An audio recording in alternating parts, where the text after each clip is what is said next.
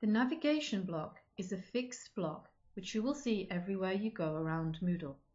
It might be on the right, as here, or on the left, according to your theme. Home is your front page, and My Home is your customizable personal page, which we've looked at in another video.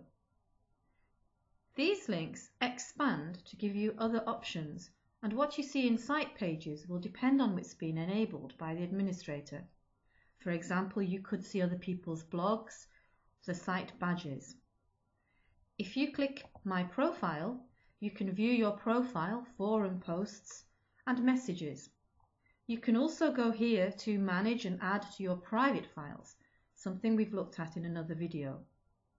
My Courses takes you to your My Home page, where you have an overview of courses you're enrolled in and any work that you need to do there. If we go into a course, we can see how the navigation block adapts to being inside a course. The sections of the course appear under Current Course along with the participants and badges. These words, reading, listening and speaking, are the names of the sections as they've been renamed from topic numbers.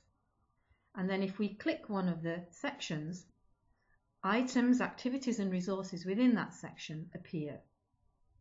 My Courses then takes us back to the My Home page where we can see the other courses.